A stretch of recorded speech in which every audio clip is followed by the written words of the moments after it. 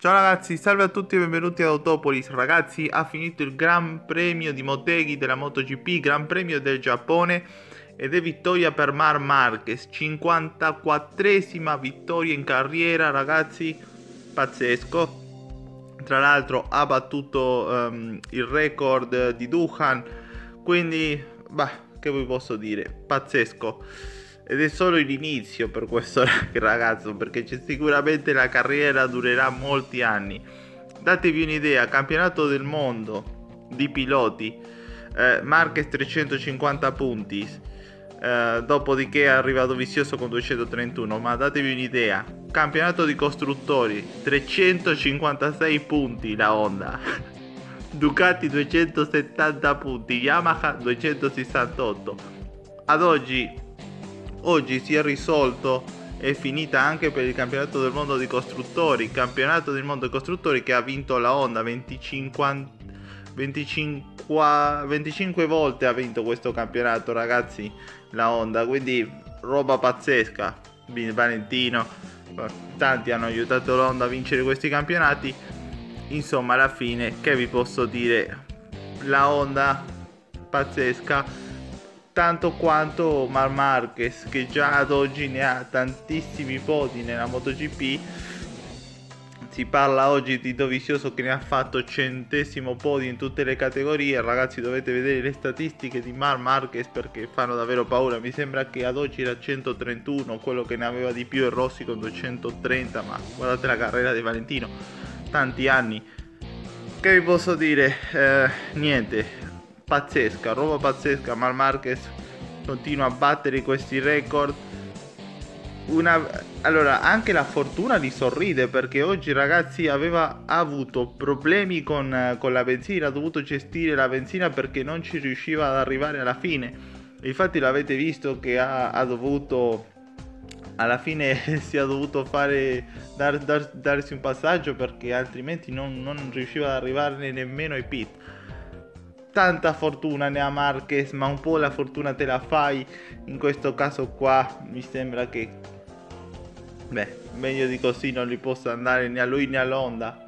Spettacolare. Hanno vinto tutto, stravinto. L'unico campionato che rimane eh, da vedere come andrà è il campionato di squadre. Qui tuttavia la Ducati ne ha un vantaggio, ma ormai ad oggi ragazzi non è che sia più di tanto che vi posso dire? Allora, risultati di questa gara qua, vince Mar Marquez, seconda posizione per Fabio Quartararo, terza posizione per Andrea Dovizioso che ha fatto una scelta, ris- una scelta abbastanza rischiosa, quella di utilizzare una gomma soft all'anteriore. E infatti è stato l'unico a fare una scelta del genere di quelli che andavano in testa. E alla fine ha pagato e non me l'avrei immaginato ma alla fine ha riuscito. Medium al posteriore gli altri avevano fatto la scelta opposta quindi quasi riesce ad arrivare secondo non ce l'ha fatta è mancata poco ma una bella gara di Dovizioso eh, che è arrivato terza posizione. Quarta posizione per Maverick Vignales su Maverick Vignales che ha cercato in tutti i modi di fare a modo di sorpassare Dovizioso ma non ci è riuscito.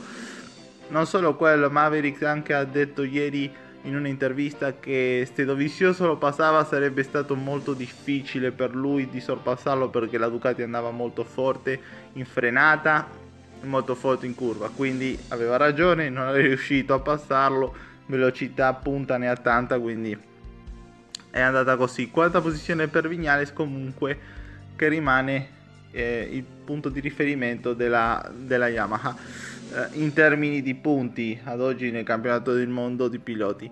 Dopodiché, eh, quinta posizione per Carl Crutchlow che Carl Crutchlow ha ricoverato, sta facendo una bella roba. Sesta per Morbidelli che oggi ha fatto una gara molto buona.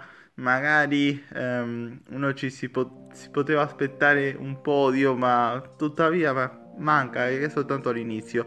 Dopodiché, eh, settima posizione per Alex Rins, ottava per Mir, nona per Petrucci che vediamo come va ma Petrucci deve aiutare molto ragazzi in questo caso qua il campionato dei costruttori eh, è già ormai andato ma Petrucci è molto importante perché per la Ducati questo campionato qua era l'unico che poteva ambitire, ora rimane quello di squadra e vediamo come va.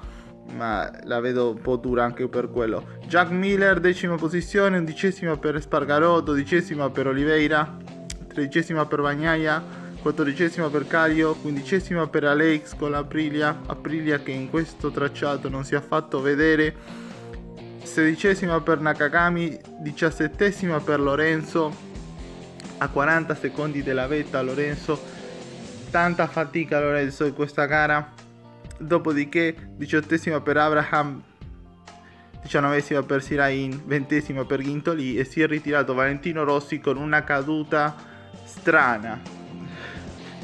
No, non si è capito che cosa è successo, ha perso la tela e è andato a terra, ma non stava nemmeno lottando per le posizioni, eh, mi sembra che non era nemmeno nei top 10, non lo so, la regia non si è concentrato più, più di tanto su questa roba qua, quindi quello che abbiamo, ma non si sente molto suo agio Valentino con la moto, ha fatto saperlo, ha, ha parlato nelle interviste rilasciate ieri in cui diceva che alla moto gli, mancavano più cavalli, si doveva fare molto di più.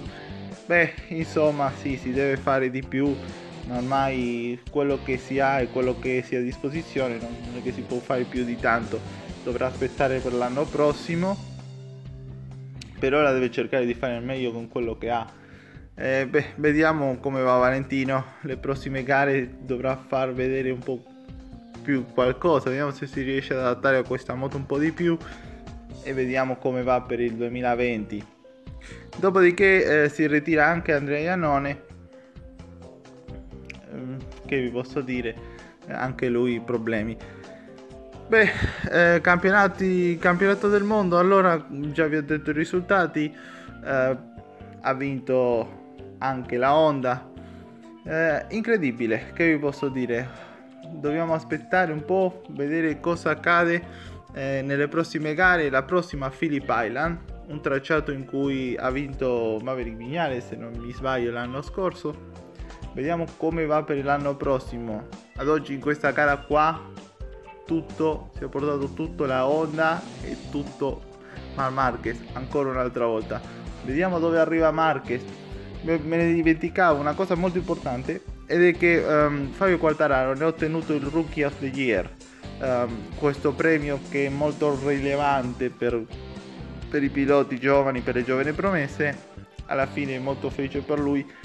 Per me ad oggi quello che sicuramente riuscirà a fare impensierire di più Marquez in futuro, se la Yamaha riesce a fare un mezzo uguale uh, gli dà un mezzo uguale a quella Yamaha Factory, quella Cavignale e Rossi e se riesce a migliorare di più questa moto perché lo deve fare assolutamente in termini di accelerazione e velocità punta non si può fare molto di più. Vediamo come va 2020 dovranno lavorare tantissimo tantissimi nuovi tecnici anche Valentino ha cambiato il capo tecnico. Tanti arrivi in casa Yamaha per cercare di stravolgere un po' questa moto vediamo come va. Non è facile la, la Honda ha fatto datevi un'idea ragazzi questa moto qua dicono tutti che la Honda è impegnativa. Questa moto è ancora più impegnativa di quella dell'anno scorso perché Mar Marquez ha chiesto più motore anche se la moto sarebbe stata molto più difficile da un punto di vista di, di farla girare. Questa Mar Marquez oggi ne ha ottenuto la decima vittoria in questa stagione, un record abbastanza importante, fa quasi paura, quasi siamo ai livelli del 2014 quando là aveva vinto tutto, mi sembra quarta vittoria anche a livello consecutivo. Vediamo chi lo riesce a fermare questo ragazzo, qualcuno sicuramente ci riuscirà, eh, vediamo come va. Un'altra notizia, eh, magari non ve l'ho detto, ma Sarko eh, correrà le prossime tre gare rimpiazzando Nakagami che si deve fare un intervento chirurgico per mettersi a posto la schiena. Quindi, beh ragazzi, tutto qua. Vi lascio anche la tabella dei punti così potete vedere il campionato del mondo. Fatemi sapere la vostra eh, nei commenti. Se vi è piaciuto questo video datemi like, iscrivetevi al canale. Vi saluto a tutti, vi auguro una bellissima domenica. Ci vediamo alla prossima. Ciao ciao, saluti.